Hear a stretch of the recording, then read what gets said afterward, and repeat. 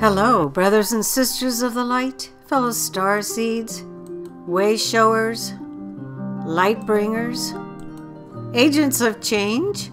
I am Juli Joy, your servant of the light, with another message from the ninth dimensional Arcturian Council, as channeled by Daniel Scranton for February 20th, 2022.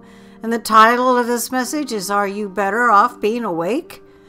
And they begin Greetings. We are the Arcturian Council. We are pleased to connect with all of you. We have been very interested in how you would handle the transition from being third dimensional beings to being fifth dimensional beings.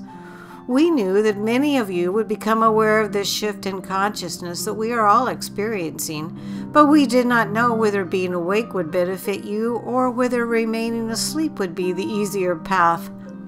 And now that we have been observing those of you who are awake long enough, we can say that it is by a very narrow margin that you are having an easier and more joyous time with the shift. The reason why it is only a very narrow margin is because of the responsibility that you feel and because of the roles that you have taken on. As empaths and healers, you often take on the issues and energies of those that you are there in service to. As awakened beings who understand that you are shifting your consciousness, you are less likely to drown your emotions with drugs and alcohol. And as beings of service, you often feel as though you should be doing more to assist the shifting of the collective consciousness.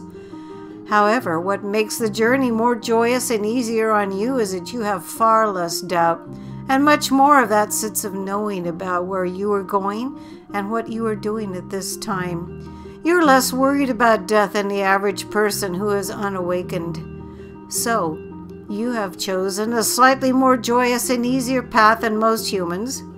And you could make it much more joyous and easier if you could let go of the guilt that you often feel for not being better at what you do.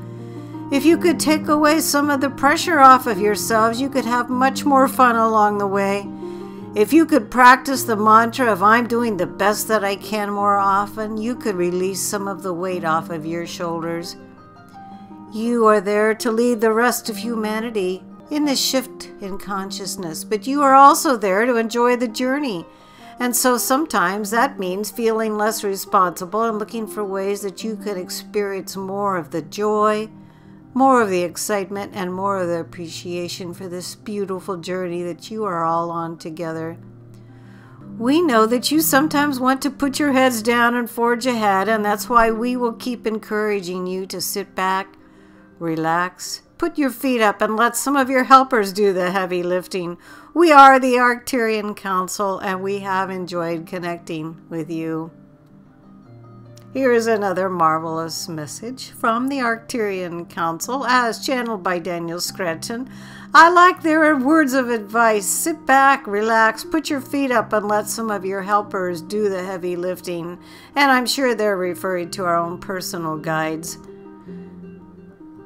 I will be able to post the script to this message below in the Show More section, and you can also always find Daniel's fine work not only on his own website, danielscranton.com, but also voyagesoflight.blogspot.com and the Sananda website. I am Juli Joy, thrilled to be able to bring another wonderful message from the Arcturian Council to all of you.